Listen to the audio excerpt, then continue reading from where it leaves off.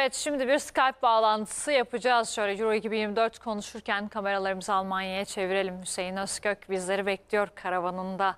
Nasılsınız? Havalar düzeldi mi?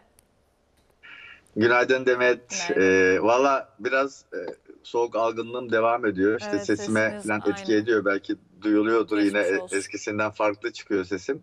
Havalar bir türlü düzelmek bilmiyor. Önceki gün biz Dortmund'dan yola çıkarken yağmur bize eşlik etti Leipzig'e kadar. Dün yine yağmurluydu Leipzig. Ee, bugün sabah böyle çok bulutlu, yağış yok ama soğuk bir hava var. Yani yaza göre şu anda 15, 16, 17 dereceler hakikaten Temmuz başı için e, çok düşük dereceler. E, alışmaya çalışıyoruz. Yani, yani bir de biz yaz çocuğuyuz biliyorsun. Güneyden geldiğimiz için. Evet siz Ee, alışkınsınız ama- aslında Almanya havasına. Evet, geçmişten alışkanlığım var ama artık yani uzun yıllardan beri güneyde yaşadığım için oranın Doğru. sıcak havasına adapte olduk. Şimdi buralar bize soğuk geliyor. Ee, ama futbolcular açısından tabii ki daha e, uygun bu havalar e, Demet yani. E, çok sıcak bir havada futbol oynamak kolay değil. E, Tabii. böyle havalar futbol için çok elverişli havalar aslında baktığında. Çok şiddetli yağış olmadığı sürece ama değil mi? E tabii tabii. Yani yağış olmadığı sürece böyle serin hava olarak kastediyorum. Hani yağış Hı hı. olarak değil de serin hava olarak hakikaten futbol oynamaya çok uygun bir hava var aslında. Peki bakalım akşam nasıl olacak. Ee, konuşalım isterseniz. Bugün oynanacak maçtan beklentilerinizi alarak başlayayım. Milli takımımızdan, Avusturya'dan neler bekliyoruz? Yani Avusturya gerçekten çok iyi bir takım. Başında çok önemli bir teknik direktör var. Ralf Ragnick. Hem Evet. Hoffenheim hem Leipzig'i aşağılardan alıp yukarıya Bundesliga'ya taşıyan bir teknik direktör. Dünya futbolunda önemli bir yeri var. Ee, şimdi de Avusturya milli takımında iki senedir görev yapıyor ve e, takımı getirdiği nokta gözlerimizin önünde. Hı hı. E, hakikaten iyi futbol oynuyor Avusturya. Kompakt futbol oynuyor. Öyle hani Sabitzer dışında, Baumgartner dışında böyle çok e, adından söz ettiren oyuncusu da yok. Yani takım halinde oynayan genç bir kadro. E, dolayısıyla e, bu turnuvada da Fransa ve Hollanda'nın olduğu gruptan birinci çıkmaları aslında baktığında çok da sürpriz değil. Evet. Hani sürpriz olarak adlandırılsa da e, oynanan futbola baktığınızda sürpriz değil. Zaten Fransa'da hani dün akşam böyle tesadüfi bir golle kazandı. Hı hı. Dolayısıyla hani Avusturya'nın ne kadar hak ederek e, o gruptan lider çıktığını çok net gösteren bir Tabii. durum daha bu bana göre. E, Avusturya karşısında milli takımımızda beni tek korkutan hep yani turnuvanın başından beri söylediğimiz savunma hataları. Hı hı. E, bizim savunmamızda maalesef bu turnuvalarda affedilmeyecek e, şekilde hatalar yapılıyor. Çünkü çok üst düzey futbolculara karşı oynanıyor bu turnuva ve onlar da affetmiyor. E, Gürcistan maçında işte biraz da şansımızın yardımıyla o son dakikalarda e, Gürcü futbolcular skor üretemeyince biz e, maçı kazandık. Ama bu akşam da çok dikkatli olmak gerekiyor gerçekten. Savunma kurgusunun Montella Kesinlikle. tarafından çok, çok iyi yapılması gerekiyor. Korakor bir mücadele olacak ve bu turnuvada çıkacak hiçbir sonuç sürpriz değil. Ee, Hı hı. Türkiye'de bu maçı kazanabilir. Her maçın farklı parametreleri var. Tabii ki o anda işte futbolcunun form durumu, sakatlık, kart maçı sırasında oluşan e, bunlar da önemli parametreler oluyor bazen. E, ben umutsuz değilim kesinlikle. Avusturya tabii ki favori ama e, Türk milli takımı da e, bu tip bir maçta, bütün dünyanın izlediği maçta e, Avusturya'yı yenebilir. Geçmişte de bunu yaptı. 35 yıldır Avusturya resmi maçlarda yenilmiyoruz bu arada. Dün de Ralf Rangnick basın toplantısında oradaydım. Ben söyledi. E, bu da e, bir, Avusturya'ya karşı bizim üstünlüğümüzü gösteriyor. 6-1'lik o hazırlık maçı mağlubiyeti bir ölçü değil. Bunu Ragnick de söyledi dün basın topla- toplantısında yine. E, o bir hazırlık maçıydı. E, başka bir atmosferde oynandı. E, çok kimsenin ilgi göstermediği bir karşılaşmaydı. Hı hı. E, ve öyle sonuçlandı ama bu bambaşka bir karşılaşma. Dolayısıyla umutsuz kesinlikle olunamaz. Peki basın toplantısındaydınız. Ee, neler dikkatinizi çekti? Teknik direktörümüz Montella ve Mert Müldür'ün önemli açıklamaları vardı. Ya Montella'yı biliyorsun e, fazla böyle e, ipucu vermeyen bir teknik Evet. direktör. E, Konuşmaları genelde hep sorular üzerine yüzeysel oluyor. Hı hı. Ben hani fazla bir şey bulamıyorum Montella'nın basın toplantılarında. Ben mesela Ralf Rangnick daha böyle açıklayıcı konuşmalar yapıyor. e, takımı ile ilgili olsun. Mesela ben ona dün bir soru sordum Ralf Rangnick'e VAR'la ilgili. Bu Danimarka e, teknik direktörü hani bu ince offside ile ilgili olarak bayağı bir serzenişte bulunmuştu Evet, Almanya maçıyla evet. ilgili olarak. Onu sordum ben. Sizin görüşünüz ne dedim bu teknolojiyle ilgili, yarı otomatik offside teknolojisi ve VAR'la ilgili. Ben başından beri destekliyorum. E, onu da anlıyorum dedi. Yani bu kadar çok ince bir e, offside e, gerçekten hani üzücü ama dedi yapacak bir şey yok. Ve zamanla geçtikçe zaman yıllar geçtikçe bu VAR sistemi daha da oturacak. Ben desteklemeye devam Hı hı. ediyorum dedi. Evet. E, Montella dediğim gibi fazla bir şey söylemedi. Mert çok hoşuma gitti. Mert de tabii Avusturya kökenli olduğu için Avusturyalı gazeteciler de soru sordu. Hı hı. E, o da çok güzel cevaplar verdi.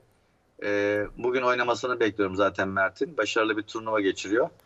E, bu şekildeydi dünkü basın toplantısı. Peki evet. dün oynanan maçlara şöyle kısaca değinelim. Ufak bir bahsettiniz zaten. E, Fransa-Belçika mücadelesi. Fransa şans eseri bir gol buldu. E, Portekiz-Slovenya maçı e, o da yine bir önceki maç gibi biraz sıkıcı geçti aslında. Ama e, Cristiano Ronaldo'nun duygusallığı belki bu maça damga vurdu diyebiliriz. Ve e, son anlarda tabii penaltılarda da Portekiz'in kaliteli ayakları maçı kazandırdı.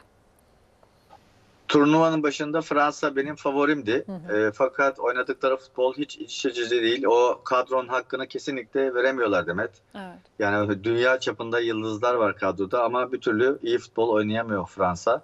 Hani şimdi de böyle kör topal amiyane tabiriyle dün söylediğimiz gibi tesadüfi bir golle kalecinin e, işte kendi oyuncusuna çarpan top sonrası kontrpiyede kalmasıyla maçı son anda kazandılar ve çeyrek finale yükseldiler.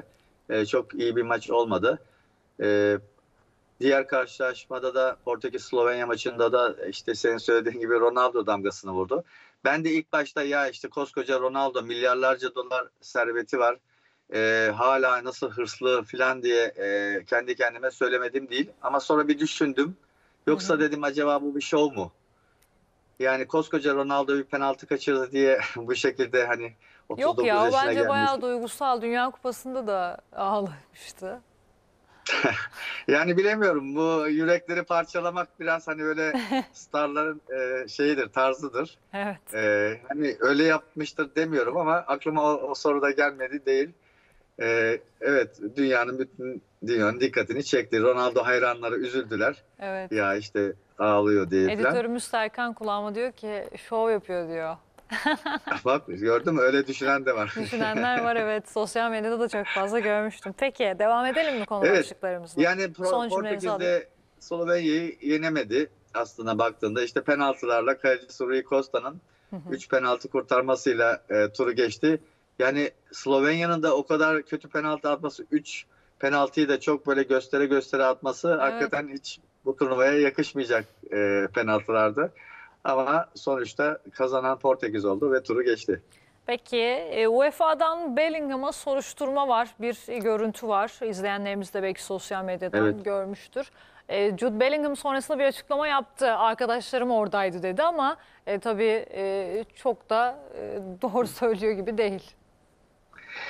Şimdi bütün dünyanın izlediği bu tip maçlarda Jude Bellingham gibi çok büyük yıldız futbolcular Hı hı. bu tip hareketleri arkadaşlarına doğru e, şaka yollu yaptım dese de e, herkes tarafından başka türlü algılanır. Çünkü Tabii. kim bilecek senin orada arkadaşına o hareketi yaptığını bütün dünya izlerken televizyonlarda ve tribünlerde. Aynen öyle. E, olmaması gereken bir hareket. UEFA şimdi onun savunmasını almıştır.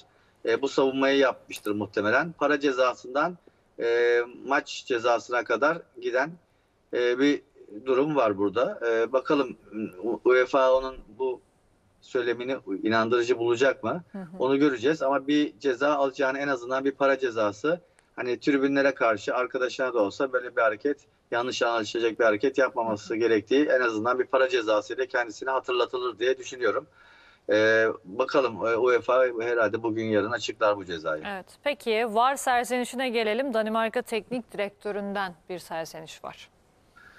Evet Danimarka e, teknik direktörü Kasper Hjulmand e, bu Almanya maçı sonrası bayağı bir serzenişte bulundu. Bu VAR teknolojisi konusunda ve yarı otomatik offside teknolojisi konusunda. Aslında bence yarı otomatik offside teknolojisi iyi ki var.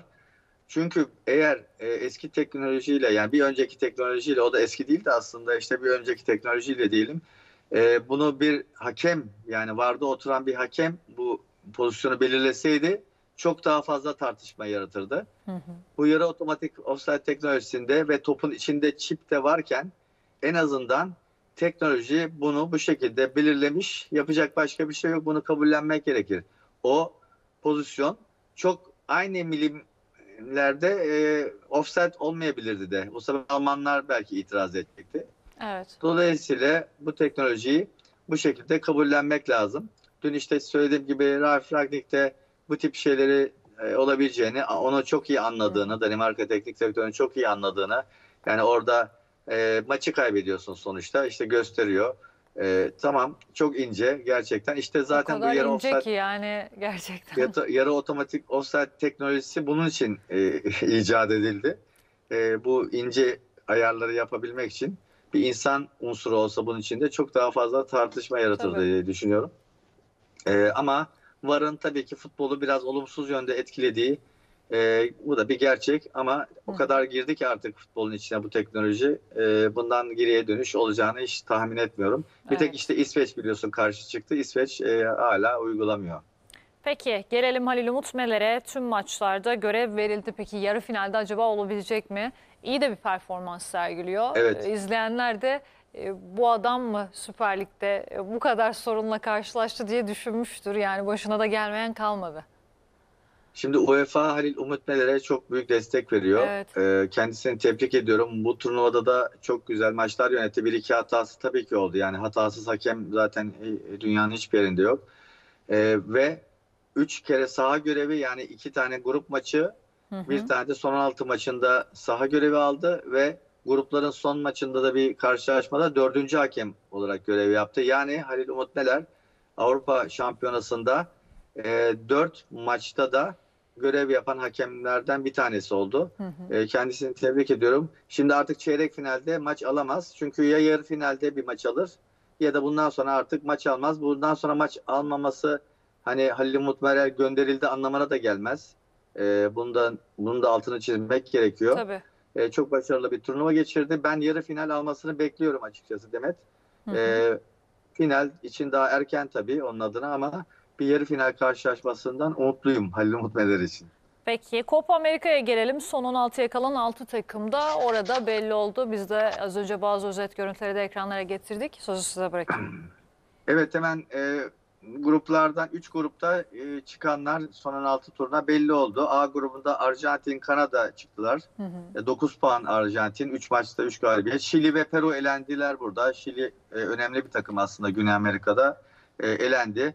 E, B grubunda Venezuela yine 9 puanla 3 maçında kazanarak e, son 16'ya kaldı. Ekvator e, 4 puanla ikinci oldu. Meksika ve Jamaika elendiler. Meksika gerçekten e, bu da Gün- Orta Amerika'nın güçlü takımlarından iyi bir takım. Onlar da elendiler Copa Amerika'dan. E, C grubunda Uruguay 3'te 3 yaptı. 9 puanla birinci oldu ve e, Panama burada 6 puan alıp ikinci oldu. Ev sahibi Amerika Birleşik Devletleri ve Bolivya burada elenen takımlar oldular.